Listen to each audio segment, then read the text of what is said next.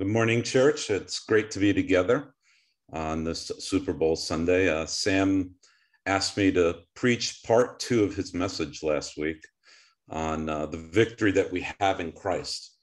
And uh, it's an honor and privilege uh, to prepare our thoughts for communion uh, as we do that together as a family and really remember the death and resurrection of Jesus. And we do that together as a family. And uh, so let's go to God in prayer before uh, we start.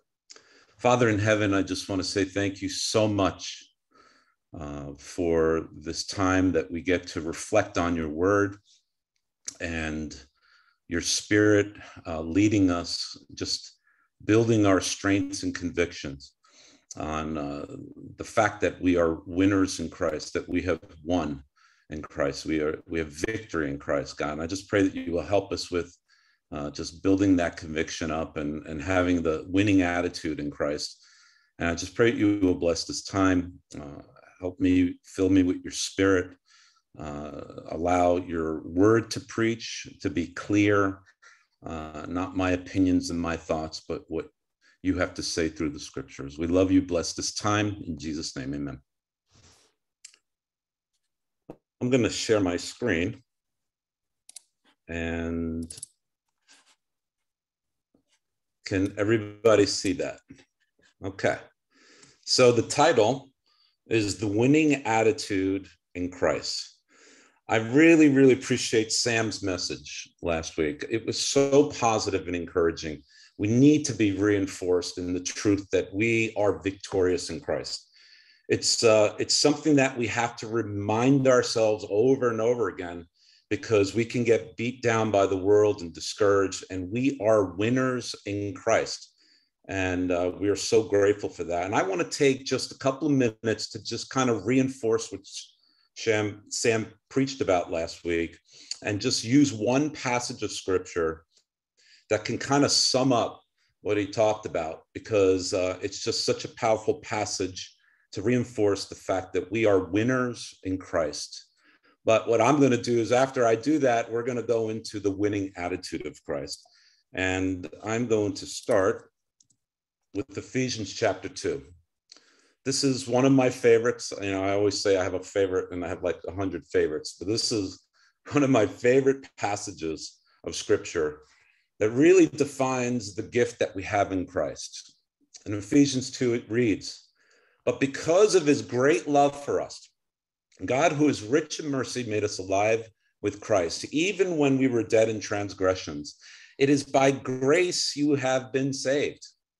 And God raised us up with Christ and seated us with him in the heavenly realms in Christ Jesus, in order that in the coming ages he might show his incomparable riches of his grace, expressed in his kindness to us in Christ Jesus. For it is by grace you have been saved through faith, and not, and this is not from yourselves. It is the gift of God, not by works, so no one can boast. So powerful, so encouraging. And, you know, Sam talked about how we are victors in Christ. We have victory in Christ. We have won the war in Christ. And it's not from ourselves, it's not because we earned it. The truth is, it's a gift from God. And because this is a gift from God, this victory we have in Christ, no one can boast.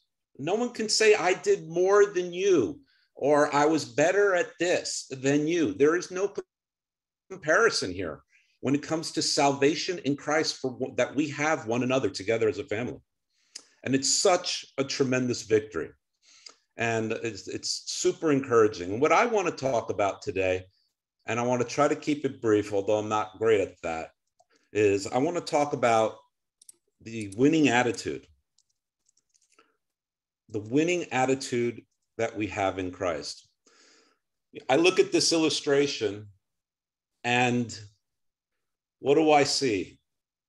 The winner crossing the line. But when I look at this, to me, this illustration is a worldly illustration. there is a sole winner that crosses the line, and then there's second, third, fourth, and fifth place, and so on and so forth.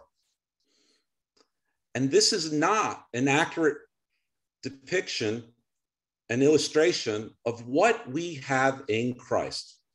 The salvation that we have because of God's incomparable riches of his grace and mercy.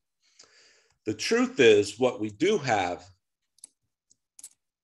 is this. This is what we have in Christ. Notice something there's no one behind them. Everybody crosses the line, victorious. At the same time, I don't know, it's a mystery. But what I do know is this there's no second and third place in Christ. When you are saved and you come, you're clothed with Christ, you get baptized into Christ for the forgiveness of your sins, and you're surrendered for the rest of your life. You live a surrendered life. Jesus is Lord. We finish the race together, brothers and sisters together as a family.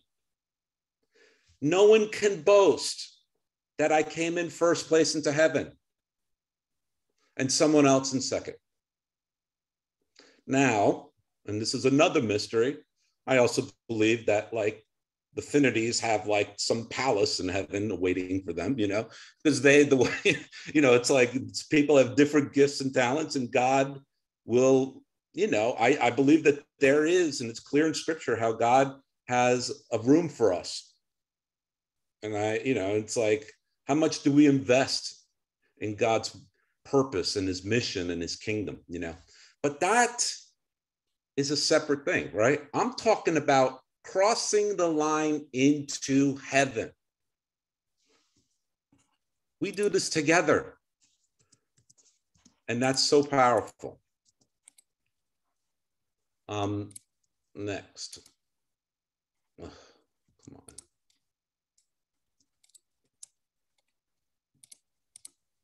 Mm, sorry. Let's do it this way. There we go.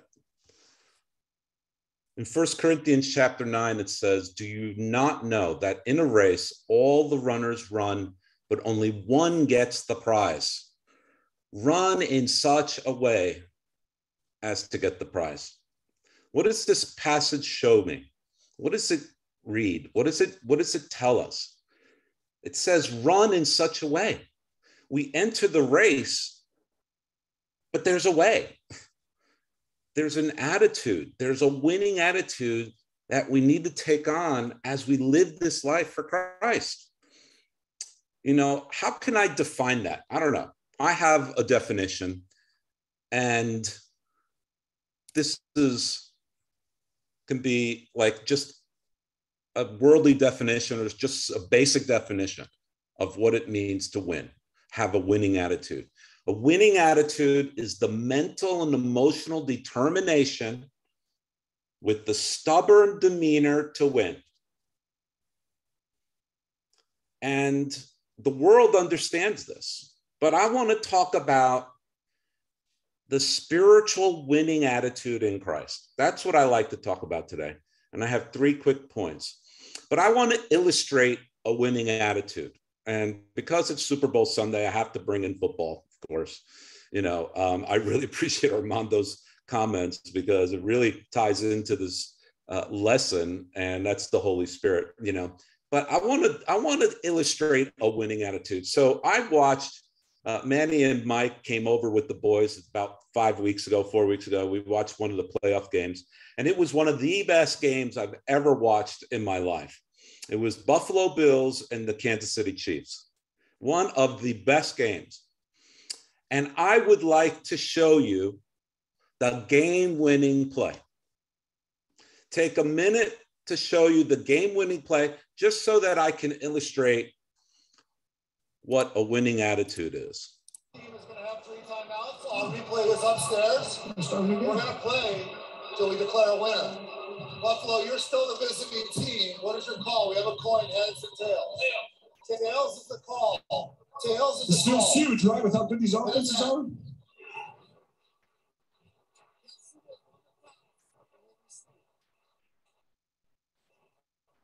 All right, Kansas City will get it. The winning play was not some fancy throw or catch.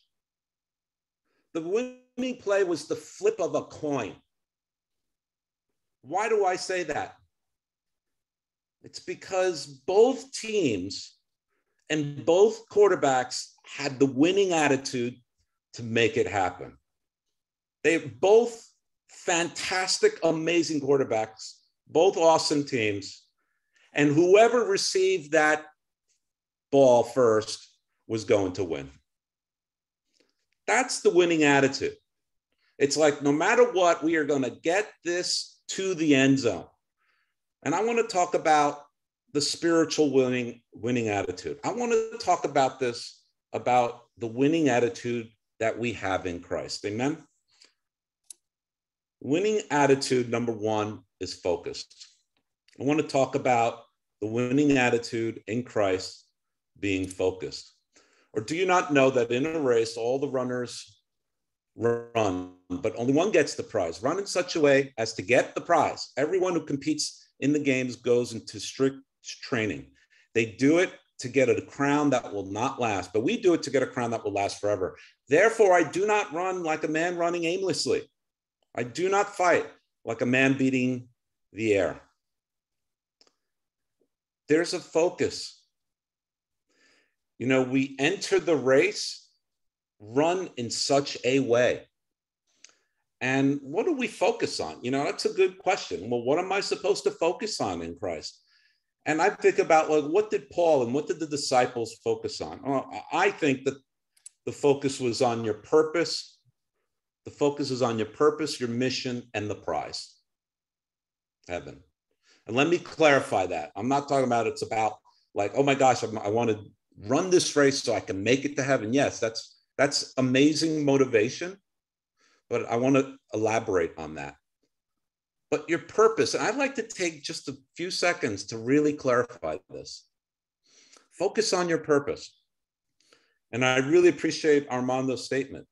Our purpose is to glorify God. We are here to lift God up. And when and when I and I love the definition that he gave.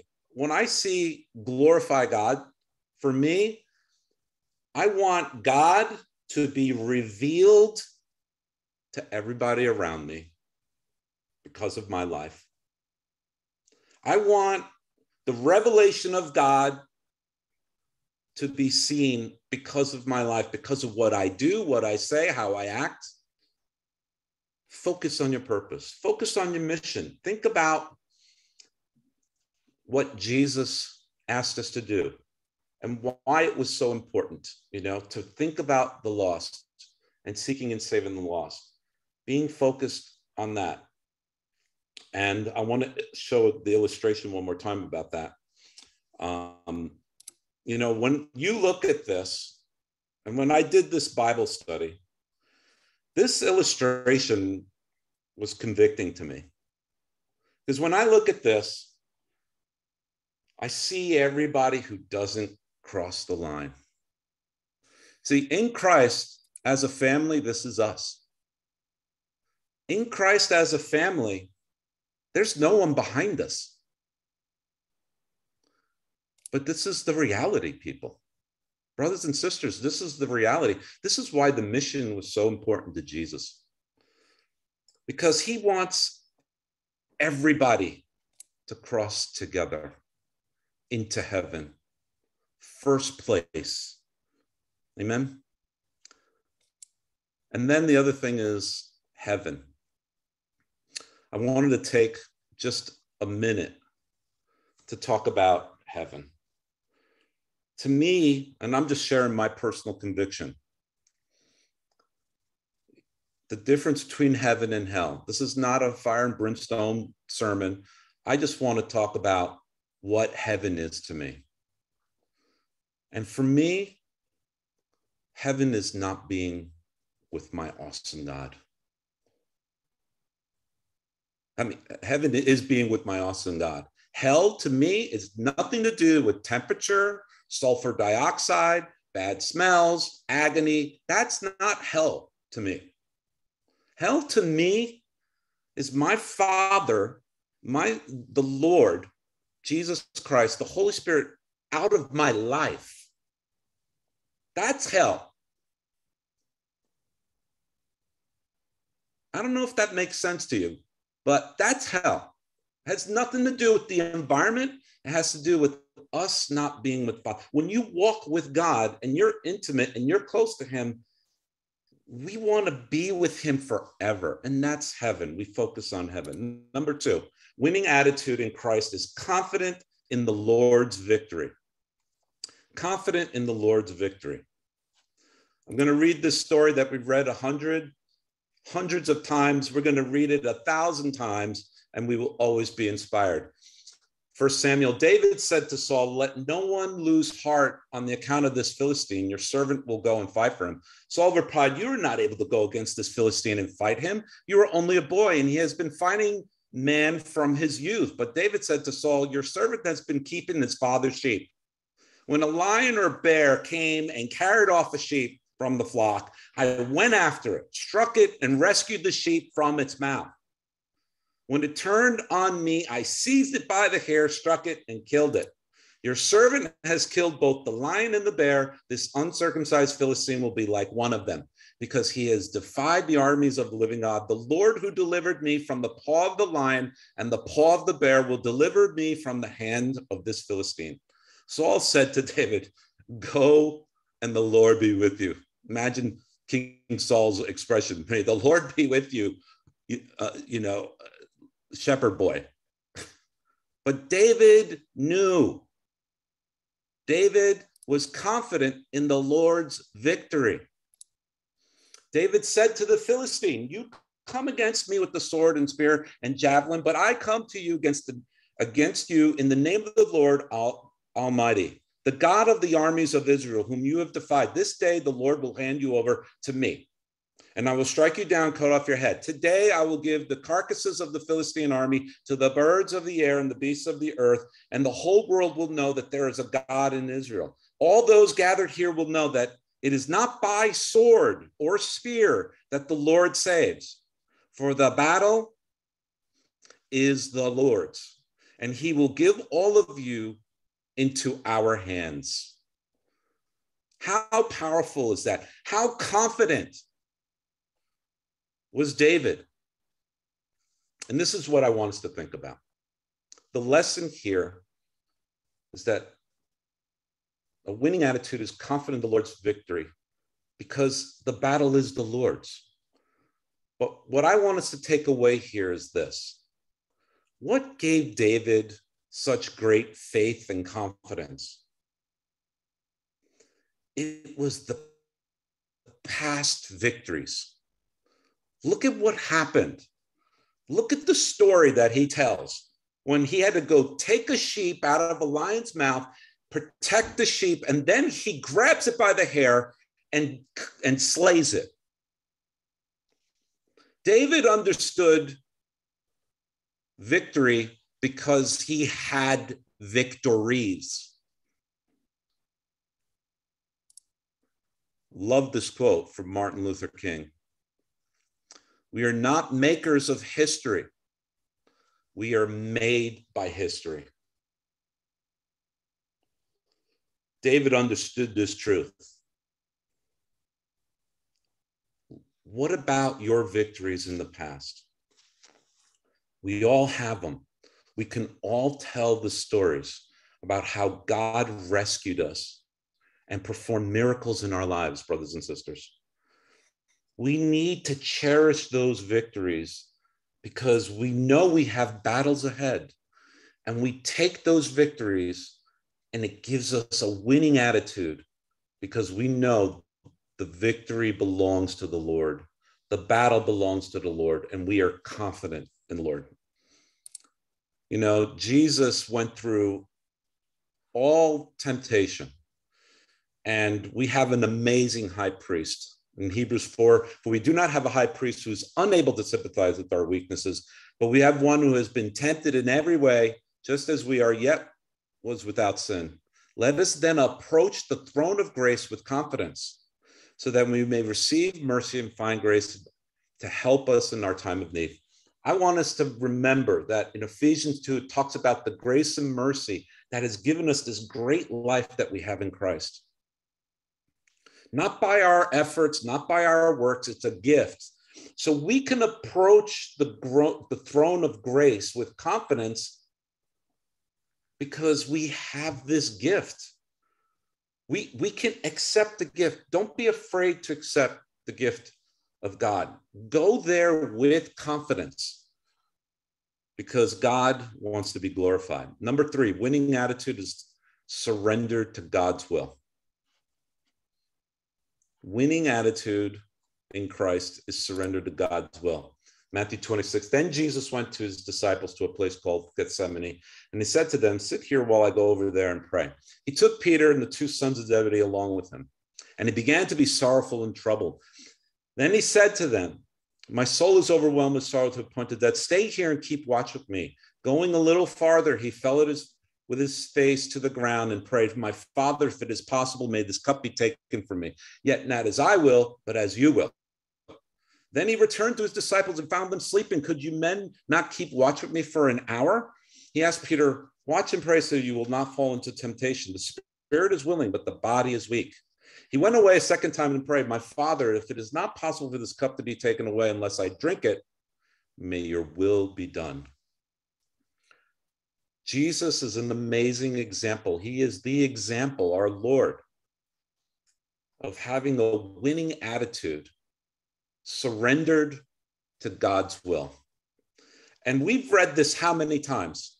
We, we study this when we do the cross. But I want us to think about one thing here. When our loved ones let us down, when we're disappointed by our loved ones, does it affect our surrender? You know, his best friends let him down. And the, I'm sure Jesus was tempted to be discouraged, but he went back on his knees with the joy set before him to think about us and our salvation, gave up his will, and surrender to the, to the Father's will. That's a winning attitude spiritually. And sometimes it's hard because we battle our emotions, right? We battle our emotions, and people hurt us, and people let us down, but yet we press forward and we do God's will. Let me go through a few practicals so I can bring this to a closure. Some practicals about a winning attitude in Christ. Number one, respect one another's different perspective. We live in a world we live in a world of just division and polarity. And in christ we are to come together. Now it's okay to have differences of opinion. We all do you know? It's and it's okay to you know agree to disagree but we're united but the thing is is we respect one another we're all so different. My wife and I, who are unified in one through marriage, are so different. You know, but we respect one another, we work together. I want to encourage the church to really think about this as a practical because our sinful nature is to think that our perspective is right over one another. And that's not healthy. We god is god is the god of variety.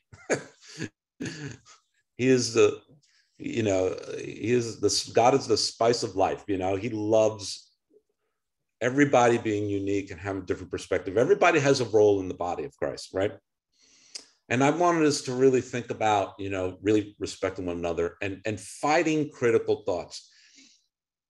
That's a, this is something that you know it's just like we, we live in a world that is so critical. I, I don't understand certain things like this whole movement of going to a restaurant and writing a negative review about your experience, like, you know, going to Yelp and like, oh, I the waiter spilled water on my lap and they overcooked my steak. I got to get on Yelp and do a one star review and start ripping into this restaurant. What what have where what have we become? Someone else has that job. It has a he's called or she's called a food critic. We've all become professional food critics. You know, it used to be you go to a restaurant,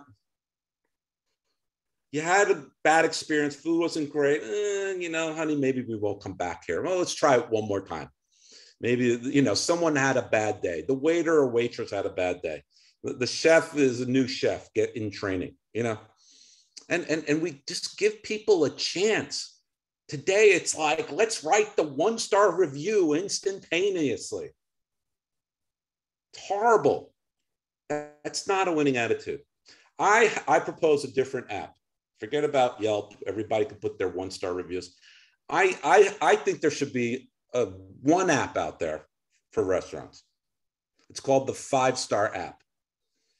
If you don't want to give it five stars, don't say anything.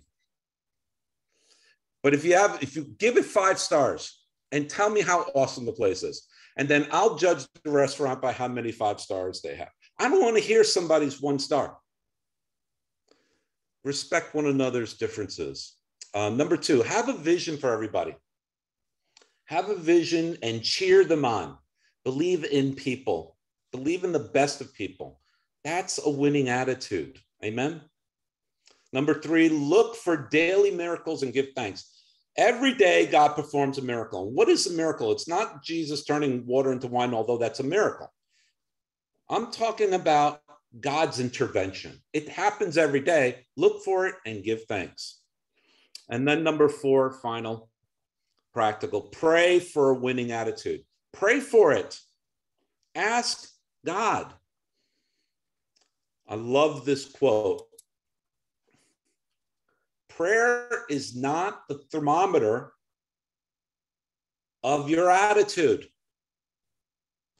it's the thermostat. Let me read it again. Prayer is not the thermometer of your attitude, it's the thermostat. So, what is this saying? And I love this because of construction, right? But a thermometer reads the condition, the thermostat sets the condition. Set your attitude with prayer. I, I, I want to lift up the Davises because they're prayer warriors and they have positive winning attitude because they're they're prayer warriors. Set your thermostat through prayer. I want to show you two uh, two videos, two quick clips, and then we will take communion together. And these two videos are to illustrate the evidence of a winning attitude and a winning church. Amen. And I will warn you, they're difficult to watch. They're not inappropriate, they're just difficult. And I want us to stop and think and look at this and see the evidence of a winning attitude and a winning church.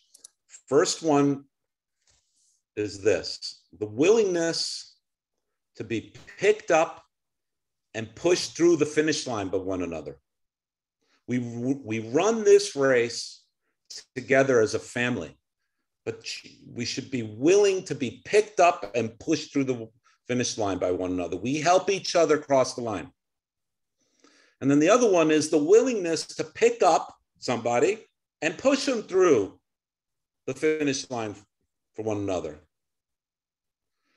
We need to be picked up at times, and you need to pick somebody up at times. Amen? That's evidence. This is a race in Nigeria. And this is hard to watch, but it's very powerful. And in this race, a runner develops lactic acid. And lactic acid buildup creates these intense, painful cramps and they they develop because they're exhausted they don't have enough magnesium potassium they don't they, they didn't drink enough they're dehydrated. There are a lot of factors why people break down and they can't run the race. But this race i want you to see it's very powerful. So, so we have uh, the athletes uh, coming one after the other in finishing, but a great race uh, has run there uh, by this the man that has uh, won for Oh, oh, oh. uh, Cannot, he cannot go again. He cannot go again. he can roll to the finish.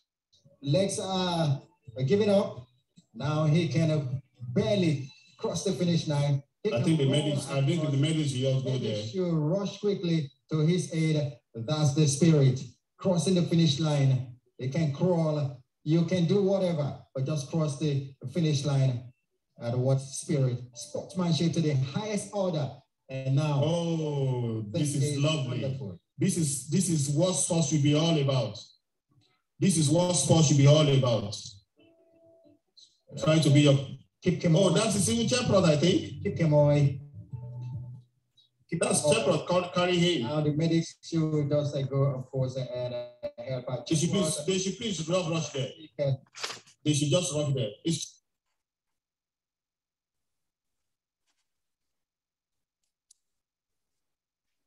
I don't need to say anything. We all have lactic acid built up every once in a while in our lives spiritually, and our legs, our legs give up. But you have to be willing to be picked up by your brother and sister in Christ. And you also have to be a good Samaritan. How many people passed him? How many runners passed this runner? It's horrible. Don't pass your brother and sister when they have lac- spiritual lactic acid. Pick them up and push them through the finish line. And here's the next evidence of a winning church and a winning attitude stubbornness and determination to glorify God. Even when we're hurting, even when we hurt others. We're a bunch of sinners trying to help each other be like Jesus, right? But we help each other and we're stubborn and determined to glorify God and do what's right for His glory and for His name. And this is the last video.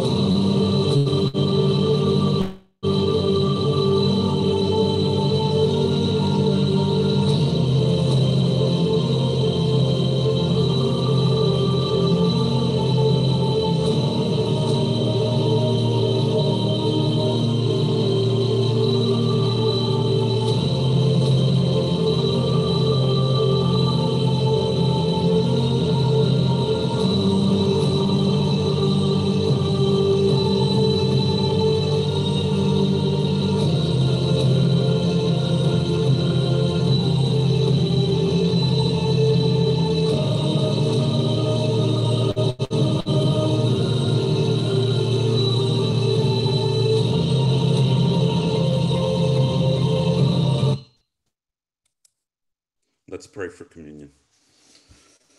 Father in heaven, Lord, we want to say thank you so much for the victory we have in Christ. Lord Jesus, we want to take the time right now to say thank you for the blood that you shed, for this the blood on your knees carrying the cross with the winning attitude and the determination to save us. All the pain and suffering you went through, we want to stop and say thank you for surrendering your will and giving us the opportunity to be saved, to come in first place and to win a prize that's forever. The prize of being with you forever. The prize of never being separated from you. And you paid the price. We want to say thank you so much, Lord Jesus. Pray for the bread that represents the broken body. Pray for the juice that represents the blood. And we could take this time right now and reflect how we are winners because of your sacrifice and the attitude of winning that we should have. In Jesus' name, amen.